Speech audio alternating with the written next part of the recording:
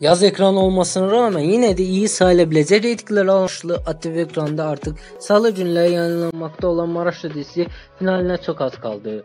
Dizi 26-cı bölümü ilə birlikdə hayranlarına vədə edəcək. Sosial mediada son dönəmin ən çox önə çıxan yapımı konumundakı Maraşlı hekayəsi və oyunculuk performansları ilə çox ilgi görüyor.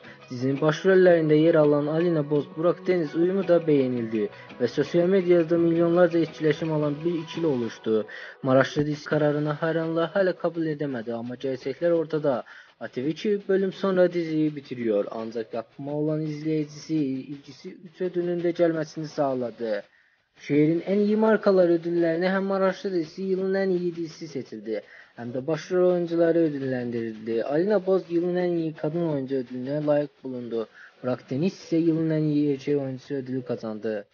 Maraş dizisinin finaline doğru adım adım gidilirken böyle sevinç kaynağı olsa bile yine de izleyiciler içinde bir burukluk var. Maraşlı neden ikinci sezonda devam etmiyor diye soran dizi hayranları ATV'nin dikkatini çekmeyi başaramadı.